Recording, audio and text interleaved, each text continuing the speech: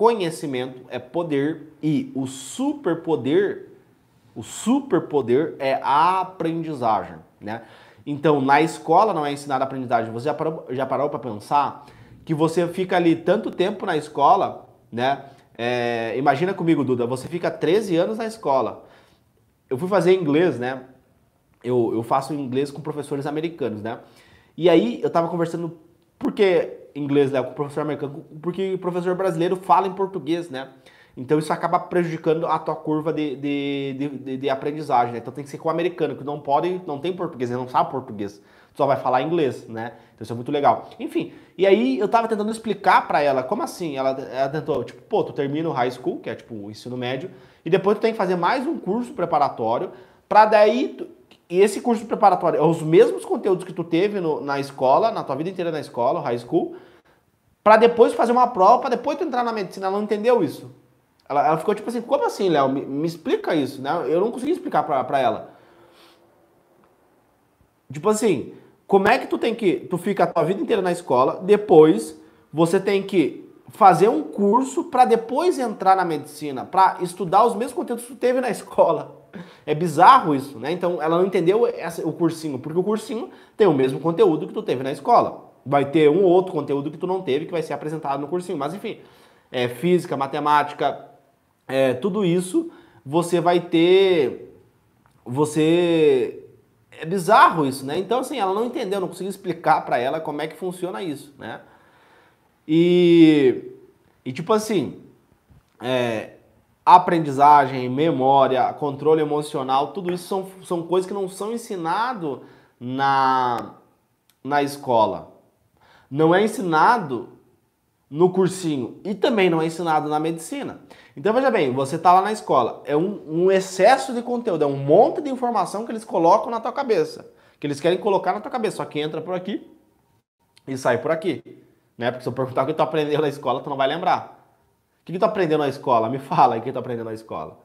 Não vai lembrar. Então, assim, percebam que é um excesso de conteúdo, só que não tem uma ferramenta, não tem um veículo. É a mesma coisa, eu te mandar, eu te mandar, ó, eu quero que você saia aqui do Rio Grande do Sul e vá para São Paulo, que é 1.394 quilômetros de distância, da, da, capital do Rio Grande do Sul, Porto Alegre, até São Paulo. Aí eu falo assim, ó, meu querido, eu quero que você saia de, São, de, de Porto Alegre e vá até São Paulo. Aí tu pergunta, tá, mas vou como? Vou a pé? Vou de ônibus? Vou de avião? Como é que eu vou ir? Qual que é o veículo que eu vou usar para sair da onde eu tô até o, ponto A ao ponto B, né? Então percebam que a escola não dá esse veículo. Ela dá um veículo de, de, de baixa produtividade, né? Cientificamente falando, é um, é, o método tradicional no Brasil, o Brasil é o pior do mundo em educação. Então esse método tradicional de professor falando, você escutando, né? É o pior método que existe, porque tu pega, por exemplo, a Finlândia, é, que era um dos melhores sistemas educacionais do mundo, depois ele, ele acabou é, caindo algumas colocações, mas está ali no, no, no top 5, né? No top, nos cinco melhores. É, como, é que lá, como é que é lá? Então eles usam uma ferramenta chamada self-study, tá? Então o aluno ele constrói o próprio conhecimento, ele é o ator, ele é a pessoa principal na construção de aprendizagem. Tu pega em Harvard, como é que eles fazem lá para aprender? É problem-based learning, aprendizagem baseada em problemas. Então você usa os problemas do mundo real como um veículo para você adquirir aprendizagem, para você adquirir conhecimento de forma opositiva às aulas. Então você é contra aulas, né? E é muito louco isso, porque se tu pegar, é, tu, tu pensar há milhares de anos atrás, como é que o ser humano aprendeu as coisas, como é que ele memorizou as coisas? Não tinha livro de matemática. Como é que os caras desenvolveram a matemática? Tinha medicina, não tinha livro de medicina, os caras desenvolveram na prática, entendeu? Eles tinham um problema ali que eles tinham que resolver, tinha uma infecção, uma bactéria, tinha uma, um problema ali que as pessoas estavam morrendo, eles desenvolveram a medicina, entendeu? Então foi, foi prática. O, o, nosso cérebro, ao longo dos milhares de anos, ele desenvolveu essa ferramenta, essa habilidade cognitiva de aprendizagem, ele desenvolveu praticando, né? Então você tem que ter um problema. Se você quer aprender alguma coisa, você tem que ver o problema daquilo. Por exemplo, matemática. Tu quer aprender geometria espacial, tu tem que ver qual é o problema da geometria espacial. Ah, quanto aqui, aqui nós temos cilindro, área da base é uma circunferência, área da base vezes a altura. Aqui é uma circunferência, então vou ter, como é que eu vou calcular a área? Né? PR ao quadrado, então vou calcular a área que tem nessa base, vou multiplicar pela altura, vou ter o volume. Então perceba, eu tenho um problema aqui, eu quero saber quanto, quantas ml vai aqui, porque eu vou fazer uma festa, eu vou convidar tantas pessoas, eu quero ver a quantidade, e aí ter uma média de, de, de, de quantidade de água que cada um dos convidados da minha festa vão tomar, e eu vou ter que saber quanto de água eu tenho que comprar, comprar porque cada copo vai ter tanta ml. Entendeu? Então tu tem um problema, a partir desse problema você vai resolver esse problema. Aí tu vai se perguntar, tá, como é que eu calculo o volume? Entendeu? Aí, pô, beleza. Aí tu vai pensar, pô, é uma geometria, isso aqui é uma forma geométrica. Tá, beleza. Então geometria. Mas é plana, geometria plana ou uma, é uma geometria espacial? Entendeu? E aí você vai indo, aí você vai buscando conhecimento, você vai pesquisando. Óbvio, tu precisa de um método para isso, né? Você tentar fazer isso sem um método, não vai funcionar. É que nem você tentar fazer dieta sem um método, não vai funcionar. Precisa de alguém para te orientar, para te mostrar o passo a passo, né? Porque tu for no YouTube tem várias dicas de dieta. Tem dieta isso, tem dieta aquilo, tem isso, tem aquilo, tem um monte de informação lá. Só que a população brasileira está cada vez mais acima do peso. Entendeu? É a mesma coisa passar em medicina. Tem um monte de dicas no YouTube de passar em medicina. Mas todo mundo que passa em medicina? Não. Uma coisa é você ter o conhecimento, outra coisa é você aprender o conhecimento. É que nem medicina. Medicina, o conhecimento médico está todo no YouTube. É, tá todo no Google, conhecimento médico. Tem lá, tem aula de neurologia, tem aula, tem tudo lá, de graça no YouTube, de graça no, no Google. Tem todo o conhecimento médico lá. Só que tem uma diferença do Google, do YouTube para o médico. Qual que é a diferença? É a capacidade de aprendizagem. Então o médico aprendeu aquele conhecimento do ponto de vista prático né? E aí a, a, a Duda fala, fala, o seguinte, muito interessante pensar por essa linha de raciocínio, perfeito, né? E eu, graças, eu, eu, eu só tô aqui falando contigo hoje, Duda, né? É, trazendo essa visão diferente, não tô aqui querendo cagar regra, nem nada disso, não sou coach, não sou guru de autoajuda, nem nada disso.